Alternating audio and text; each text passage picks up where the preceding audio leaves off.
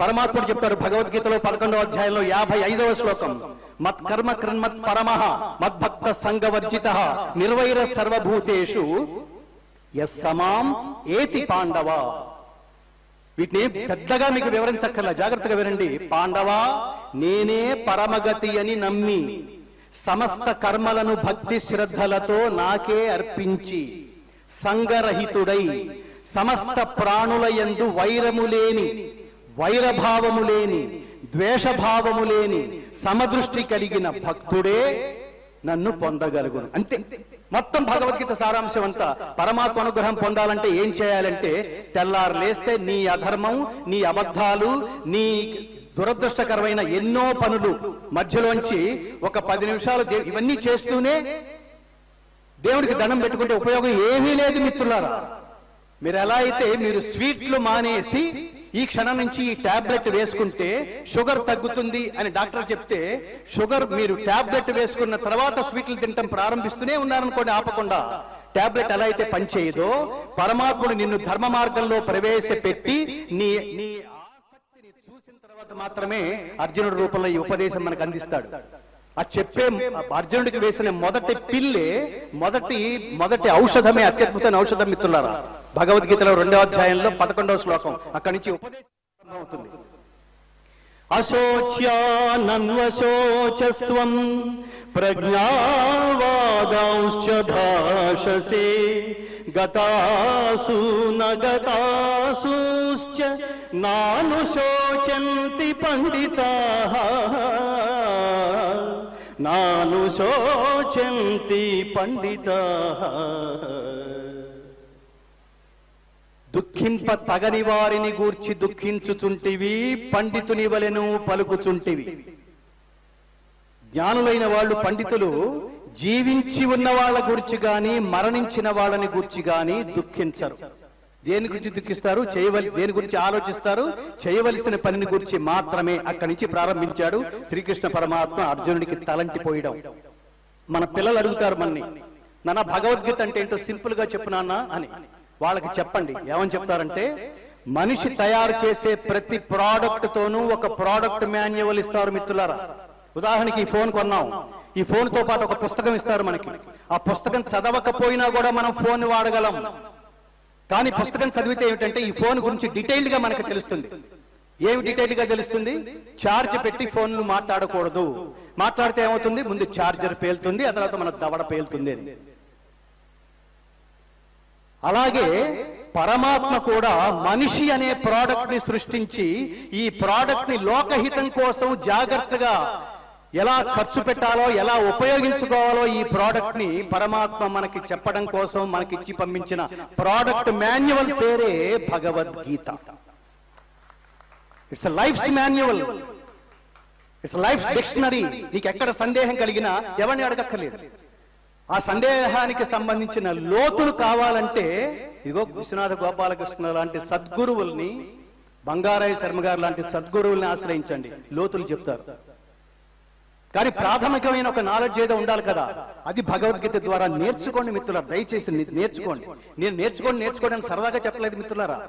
నా జీవితం దీనికోసం అంకితం చేశాను నేను. నాకు నాగపణి శర్మ గారు అనే మహాగురువు మీకు మీకు గుర్తు చేసినట్టుగా నేను సినిమా పరిశ్రమలో నేను లక్షల కోట్లు సంపాదిస్తున్న స్థితి నుంచి ఒక్కసారి ఒక ఉదయం నేను చనిపోయిన తర్వాత నా గురించి ఎవరు మాట్లాడుకుంటారో అనే ఆలోచనలోంచి పుట్టిందే అంతకుముందు జీవితం అంతా వదిలేసి అంతకుముందు సంపాదన సంపాదన అంతా ఇందులో కొమ్మరించి నేను రోడ్డు మీద నయా పైస లేకుండా నిలబడ్డాను మిత్రులారా భగవద్గీతని తెలుగు జాతికి అందించడం కోసం. గాన పద్ధతిలో గాన పద్ధతిలో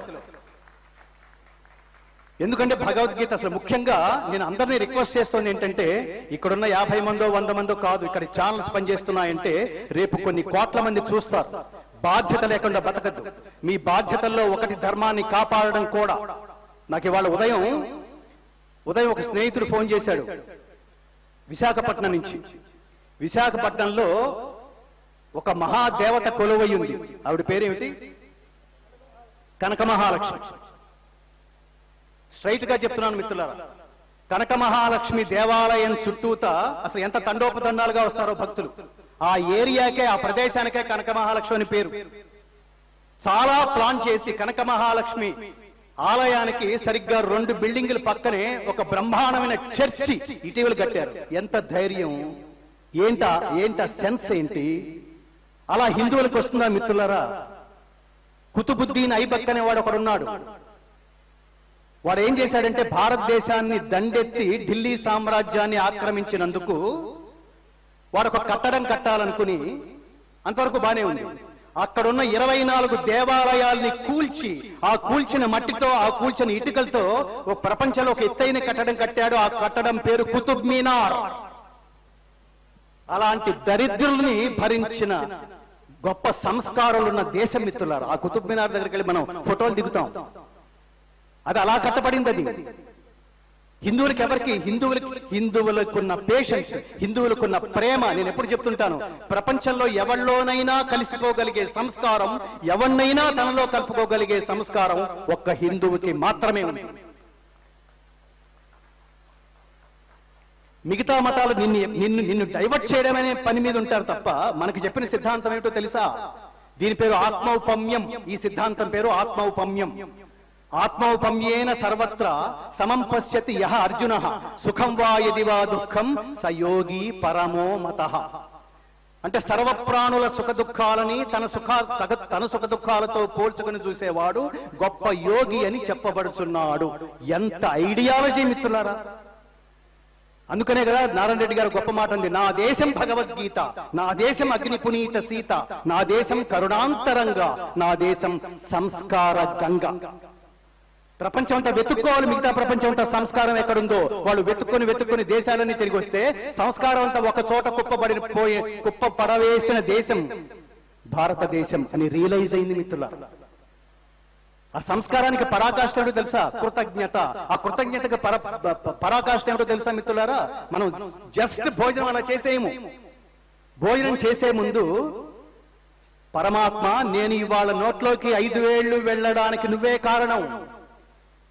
నువ్విచ్చిన ఒక్క గింజని లక్ష గింజలు చేసుకున్నానేమో గాని మొదట గింజని నేను సృష్టించలా. నువ్వే సృష్టించావు. అందుకని నీకు కృతజ్ఞతలు చెప్పడం కోసం నేను భోజనానికి ముందే కూర్చు కూర్చునే ముందు నేను సంప్రోక్షణ చేసి అవపోషణ పట్టి బ్రహ్మార్పణం చెప్పండి. బ్రహ్మార్పణం. బ్రహ్మ హవిహి బ్రహ్మాగ్నౌ. బ్రహ్మణాహుతం. బ్రహ్మైవతేన గంతవ్యం. బ్రహ్మ కర్మ సమాధిన. యజ్ఞపాత్రము బ్రహ్మము హోమద్రవ్యము బ్రహ్మము అగ్ని బ్రహ్మము హోమము చేసేవాడు బ్రహ్మము. బ్రహ్మ కర్మ సమాధి చేత పొందదగు ఫలమంతా బ్రహ్మమనే తెలుస్తున్నా బ్రహ్మం అంటే పరమాత్మ పరబ్రహ్మము. అంటే సృష్టిలో ప్రతి వస్తువు పరబ్రహ్మ స్వరూపమే అని గుర్తెరిగిన ఆధ్యాత్మిక సంపన్నులున్న దేశం భారతదేశం. మీకు ఇంకా గొప్ప దృష్టాంతం చెప్పాలంటే జీసస్ క్రైస్ట్ తన జీవిత ప్రారంభ దశలో పది సంవత్సరాలు తన ఉన్న బెత్తలహేములో జెరూసలం నుంచి తను మాయమైపోయి పది సంవత్సరాలు ఇక్కడున్న హిమాలయ యోగుల్ని కలిసి వాళ్ళ దగ్గర క్రియాయోగా నేర్చుకున్నాడు. అంటే దాని అర్థం ఏమిటంటే యోగులకే యోగం నేర్పిన దేశం నా భారతదేశం.